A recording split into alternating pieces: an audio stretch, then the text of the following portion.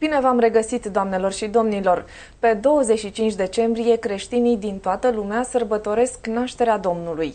Sărbătoarea Crăciunului este promovată în ultimul timp ca fiind una cu tentă cel mai mult comercială.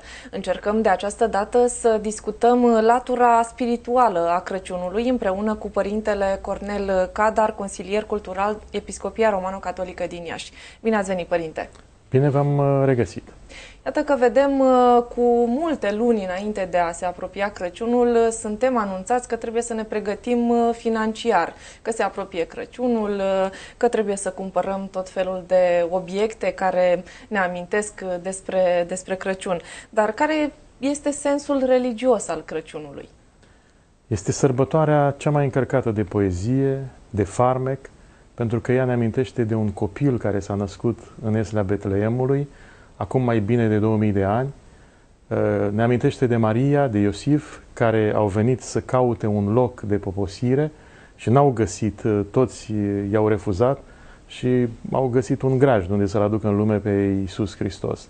Ne amintește de păstorii care au venit la anunțul îngerilor și, într-un mod deosebit, e vestea aceasta pe care a dus-o unul dintre îngeri care a străbătut cerul și s-a făcut, spune Scriptura, o lumină mare și îngerul le-a zis păstorilor care își pășteau acolo turmele, nu vă temeți, bucurați-vă pentru că vă aduc o veste bună. Astăzi, în cetatea lui David, s-a născut un mântuitor.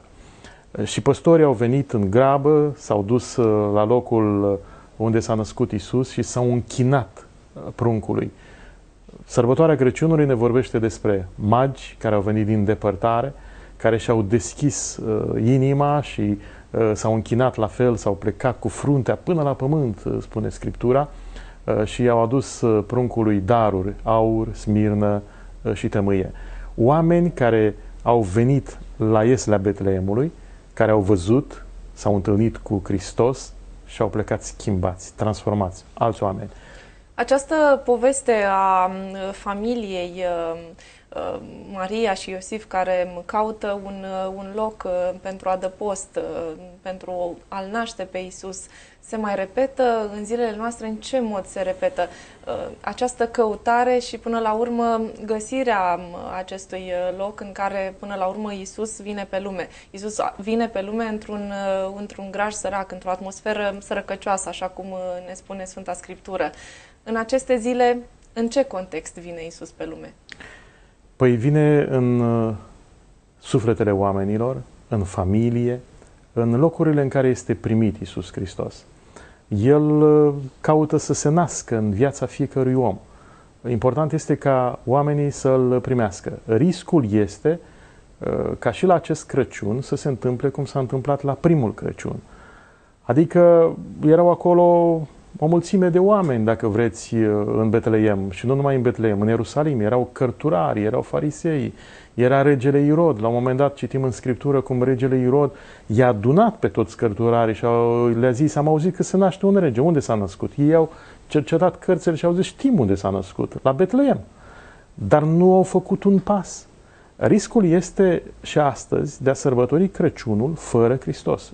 Dumneavoastră aminteați la începutul Uh, emisiunii, la începutul intervenției dumneavoastră, uh, de această explozie de lumini, de cadouri, de lucruri care uh, trebuie să le cumpărăm, care suntem invitați să le cumpărăm și uneori le cumpărăm și nu ne mai, nu, nu ne mai trebuie. E posibil ca atunci când va fi, fi Crăciunul, iată, noi suntem aproape de ajunul Crăciunului, să avem o masă bogată, să avem brad, să ne întâlnim cu cei dragi, dar totuși să nu-L avem pe Hristos. Adică e ca și cum am merge la ziua cuiva de naștere și de data aceasta e ziua lui Isus Hristos și noi să ne interesăm de masă și de alte lucruri, dar nu de sărbătorit. Ori biserica ne invită în aceste zile la a descoperi pe cel sărbătorit. Crăciunul, cel mai mare dar, înseamnă Isus Hristos, mântuirea adusă de El. Sărbătoarea Crăciunului înseamnă ziua Lui și mai mult ca oricând, în ziua aceasta a Lui, în ziua nașterii lui Isus, trebuie să mă îndrept spre El și să, să, să-L întreb ce vrea de la mine, să-i mulțumesc că a venit, a venit în mijlocul nostru, că a venit să dea mâna cu noi, să ne atingă, să trăiască cu noi și să ne înalțe la lumea Lui, la lumea aceea pură și curată. Uh, părțile, partea asta comercială um, are și o, um, uh, se desfășoară și într-un mod abundent în această perioadă, uh, aducându-ne, așa cum am mai amintit, atâtea obiecte în fața ochilor, peste tot pe unde ne uităm, prin supermarketuri, pe la televizor, tot felul de reclame care pun accent pe lucrurile materiale bune de Crăciun folositoare de Crăciun, care fără îndoială sunt, uh, sunt utile, dar se pune accent mai mult pe, pe această latură. Ce strategie de marketing poate să folosească biserica pentru a sugera pregătirea sufletească mai mult?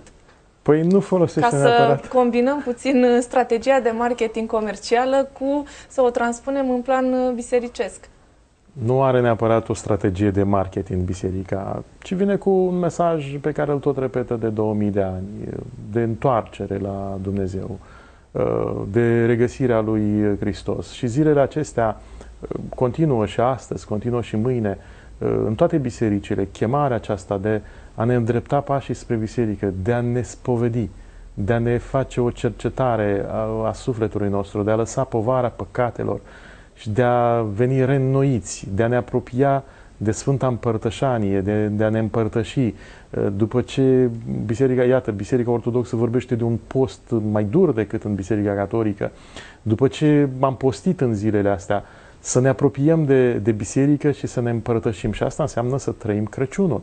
Sigur că partea cealaltă despre care vorbeați dumneavoastră e bună, dar uh, nu trebuie să ne oprim numai acolo.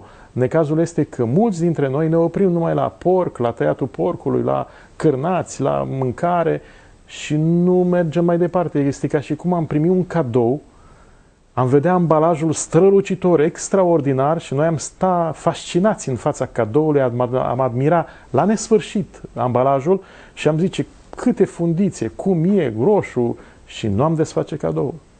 Crăciunul e cadoul cerului pentru noi.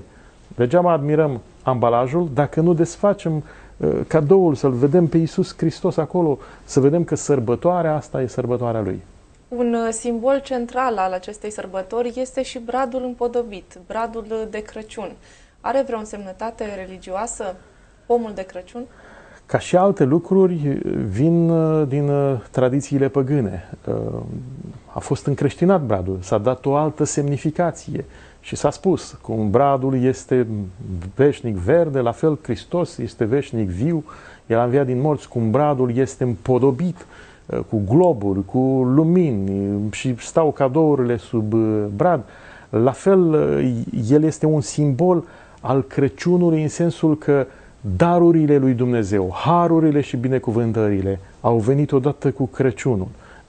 E pomul care ne amintește de pomul Uh, paradisului, e răscumpărarea lui Hristos uh, care a venit să repare ceea ce a stricat uh, Adam când s-a apropiat de pomul acela de care nu trebuia să se apropie.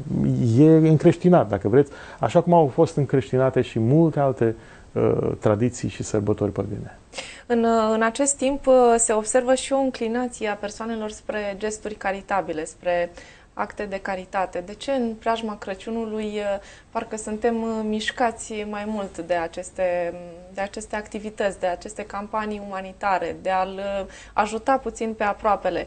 Aceste gesturi nu sunt totuși ele o pregătire spirituală? Vin cumva în ajutorul nostru de a, să facem un Crăciun bun din punct de vedere religios? Sigur, Crăciunul este sărbătoarea care ne sensibilizează cea, cel mai mult, pentru că atunci când ne gândim ce s-a întâmplat la Betlehem, descoperim acolo un prunc care s-a născut, care s-a născut într-o iesle înconjurată de animale și sensibilizează inima uh, oamenilor că dacă cerul ne-a făcut un asemenea dar și noi trebuie să ne deschidem inima și să facem celor de lângă noi daruri, adică să ne deschidem inima într-un mod deosebit spre cei care sunt în suferință, în necazuri, spre cei care sunt în închisori, în spitale. De altfel, citim în Scriptură că întrebările care ni se vor pune la judecată sunt tocmai acestea. Eram flămând și mi-ați dat de mâncare, eram gol și m-ați îmbrăcat, în închisoare, în spital și m-ați eh, vizitat, ați venit la mine. Ori Crăciunul, într-adevăr, sensibilizează. Ar trebui să ne sensibilizeze pe toți și ar trebui ca să fie un antrenament și să continuăm această deschidere de inimă spre cel de lângă noi care se află în suferință. Și asta e într-adevăr un mesaj al Crăciunului. Avem uh, acum în această perioadă peste tot tot felul de luminițe, de instalații multicolore, tot orașul este împodobit uh, frumos. Uh, acum câteva zile a ajuns la Iași și lumina păcii, o altă simbolistică a luminii. Care este tradiția acestei lumini? Păi, tocmai în mijlocul vitrinelor colorate, luminate, supraluminate, biserica a venit și a spus, domnule, haideți că există o lumină mult mai importantă, Uh, și anume lumina de la Betleem. Pruncul a venit să ne aducă pace și atunci sunt tinerii care au luat această inițiativă de foarte mulți ani, uh, aduc uh, lumina de la Betleem din locul în care s-a născut Hristos și o lumină care arde continuu acolo. La Viena s-au adunat cu mai multe zile, săptămâni în urmă, tinerii și au împărțit această lumină tinerilor din Europa care au fost prezenți acolo, inclusiv tineri din România. Aceștia au adus-o în România, au împărțit-o pe drum diverselor zone, dieceze, uh, pentru a o duce la catedralele lor. Uh, și în felul acesta a ajuns lumina de la Betlehem, care amintește de Isus Hristos, lumina lumii, lumina a venit în lume, în întunericul uh, acestei lumi. În catedrala din Iași, așa cum ați spus dumneavoastră, s-au adunat acum câteva zile la o liturghie celebrată de Preasfințitul Petru Gherghel, episcop de Iași, care a împărțit această lumină în diverse parohii. Tinerii au venit din uh, diferite parohii și au luat uh, în felinare lumina asta ca să o ducă în parohiile lor uh, și la fel au fost îndemnați să ia cu ei o candelă pentru a o da mai departe. Asta a fost, dacă vreți, deviza acestei celebrări. Îndemnați să o ducă mai ales la oamenii care sunt singuri, la bătrânii cărora nu le, carcă, nu le calcă nimeni pragul, la oamenii care sunt bolnavi, în suferință, din fiecare parohie. Și mulți tineri o fac. Dacă vreți, e, pe de o parte, simbolul acesta al luminii de la Betleem, al nașterii lui Isus, și în același timp o mobilizare a tinerilor. Biserica le arată că există și un alt mod de a trăi Crăciunul decât uh, acela obișnuit cu diverse cântări, cu manele, cu nu mai știu ce, sau cu uh, muzică dată la refuz. Există și un alt mod de a trăi Crăciunul și de altfel uh, Crăciunul continuă, dacă vreți, și inițiativele tinerilor. Există un pelerinaj al încrederii pe pământ. Pe 28 uh, decembrie până pe 1 ianuarie, mii de tineri se vor aduna la Strasburg, în Franța. Uh, mișcarea Tezeu îi adună pe tineri catolici, ortodoxi și protestanți uh, și acolo se roagă și unii dintre ei, cei mai mulți dintre ei petrec Revelionul în rugăciune. Ce credeți că îi motivează pe tineri sau cum, unde se produce diferențierea între tinerii care aleg să petreacă sărbătoarea Crăciunului într-un mod spiritual, așa cum ați spus, în întâlniri spirituale, în, în cadrul unui pelerinaj. Iată, se implică în împărțit lumina de la Betleem și restul tinerilor care poate aleg să petreacă în alt mod.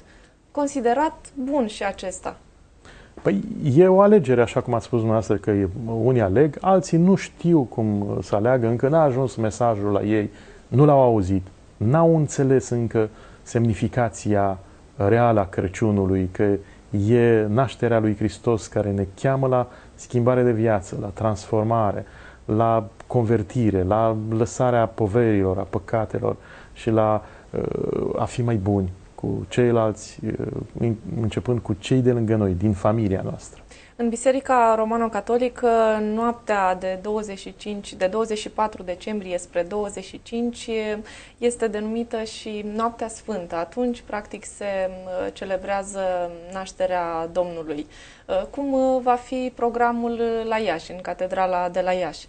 La ora 11 va fi această liturghie din Noaptea Sfântă uh, și când va avea loc uh, acea cântare de uh, care au adus-o îngerii păstorilor, mărire în cerul lui Dumnezeu și pace pe pământul oamenilor, va fi un mesaj special dat de episcop, va participa lume multă și în special vor fi invitați cei care s-au pregătit în timpul acesta numit de noi al Adventului sau postul Crăciunului să se apropie de Sfânta Împărtășanie. Și va fi punctul culminant împărtășania, uh, pentru că oamenii aceia care uh, și-au primenit sufletul atunci uh, îl primesc pe Hristos în sufletul lor. Se naște Iisus Hristos în viața lor. Am discutat cu părintele Cornel Cadal, consilier cultural Episcopia Romano-Catolică din Iași. Mulțumim pentru aceste cuvinte frumoase. Vă mulțumesc și eu. Dezbaterea zilei a ajuns la final. Sunt Daniela Fronea. Vă mulțumesc pentru atenție și vă doresc Crăciun liniștit.